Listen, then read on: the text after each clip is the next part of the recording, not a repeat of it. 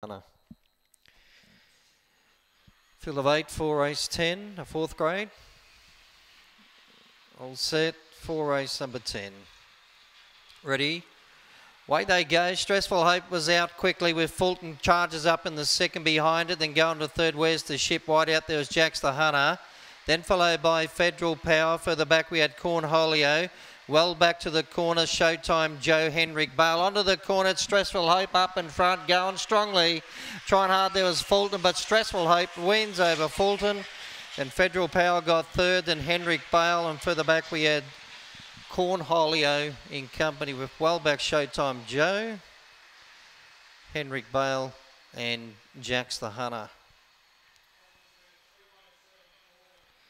Stressful Hope, the winner number three trained by Brian Gulliver.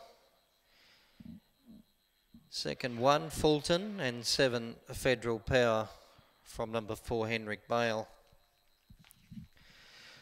So 22-26 is the run, 22-26. I think that's uh, the best here tonight. 22-26. Stressful Hope, the winner for Brian Gulliver, one second Fulton, Chris Seifleet, and seven third Federal Power for Brad Belford. Fourth place was Hendrik Bale.